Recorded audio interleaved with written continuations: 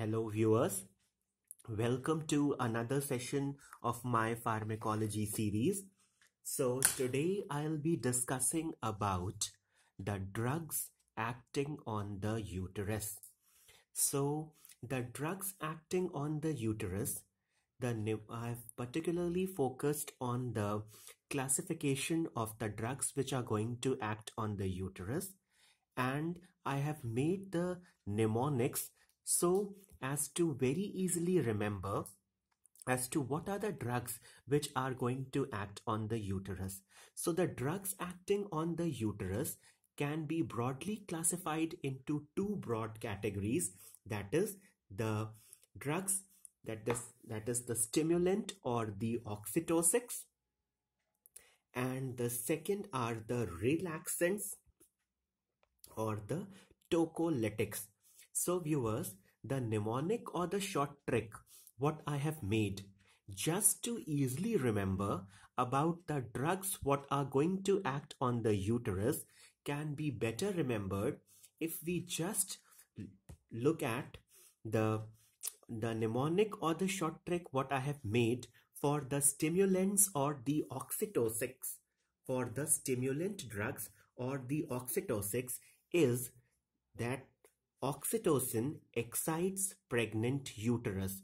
So viewers, if we just remember this mnemonic, we can very easily make out as to what are the drugs, what are going to act on the uterus as oxytocics, where every initial letter of the oxytocin O excites E and pregnant P will refer to one of the drugs one of the classes of the compounds which are going to act as stimulants or oxytocics, where O refers to the oxytocin, the E refers to the ergot alkaloids, and the P refers to the prostaglandins.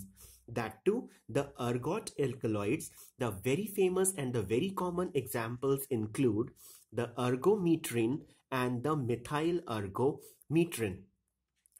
So viewers, the, the P of the pregnant refers to the prostaglandins.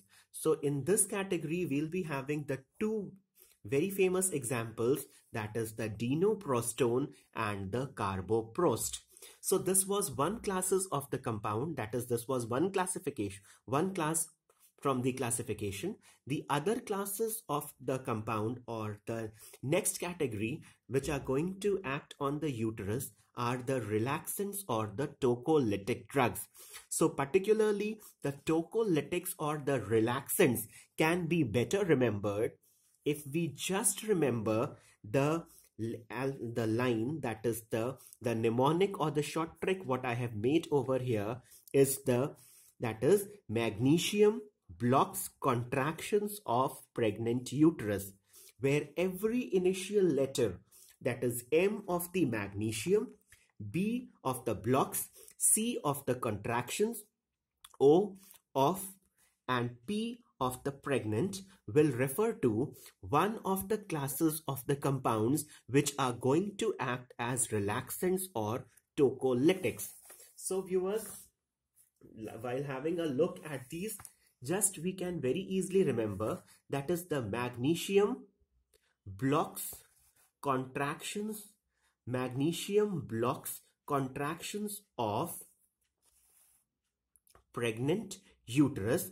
We can very easily remember the classes of the drugs what are going to act on the uterus as relaxants or tocolytics. So viewers, the M of the magnesium, the magnesium already I have made the mnemonic that is magnesium blocks contractions of pregnant uterus. So the second, the magnesium is only making us remember about the drugs what are used is the magnesium sulfate which can be administered by the intravenous route and the magnesium gluconate which can be given orally. Now moving on to the B of the block that is the B of the block refers to beta 2 agonists. Now again I have just to easily remember as to what are the beta 2 agonists which are going to act as tocolytics. that is the first choice tocolytics. So here the mnemonic as to very easily remember as to what are the beta-2 agonists what are used as tocolytics I have made a mnemonic first that is F-I-R-S-T. So by just by remembering the word first, we can very easily remember the classes of the compounds which are going to act as beta-2 agonists or tocolytics as tocolytics on or relaxants on the uterus. So the F of the first is going to refer to the fenoterol. The I of the first refers to the isox suprine. The R of the first refers to ritodrine. The S of the first refers to salbutamol and the T of the first refers to terbutaline.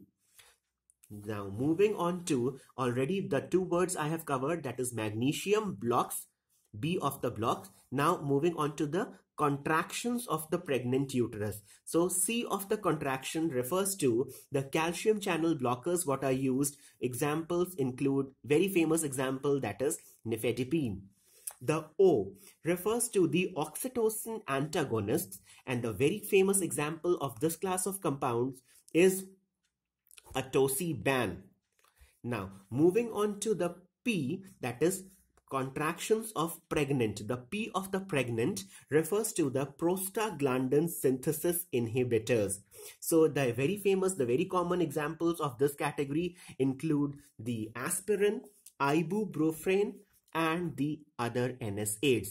So viewers, this was my mnemonic or the short trick as to how we can very easily remember the drugs what are going to act on the uterus into two broad classes that is the first will comprise of the, the first will comprise of the stimulants or the oxytocics and the second are the relaxants or the tocolytics. So viewers, this was my analysis or the short trick as to how we can very easily remember the drugs what are going to act on the uterus so viewers, if you do like my video, don't forget to subscribe my channel and do press the bell icon so that you can be further updated about my newer videos.